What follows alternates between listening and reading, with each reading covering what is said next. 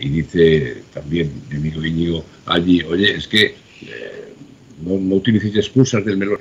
Sí, es que hay sospechas fundadas, hombre, hay sospechas fundadas, por lo tanto, entiendo que, o, permitidme que sugiera que entendáis el la posición, ¿no?